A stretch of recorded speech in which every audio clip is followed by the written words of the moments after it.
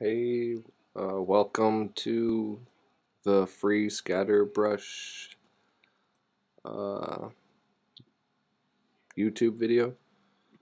So the link is in the description. You're gonna get a file. You're gonna download a file that looks like this and unzip it.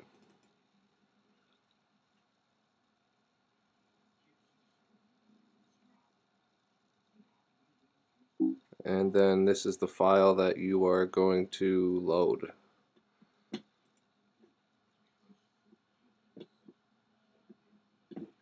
So uh, in your brushes window you go load brushes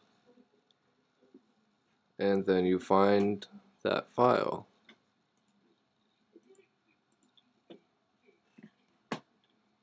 And then there will be these three uh,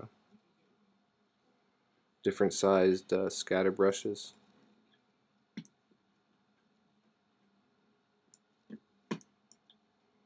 So if you ended up downloading, uh, please leave a like and subscribe. Uh, thanks for watching.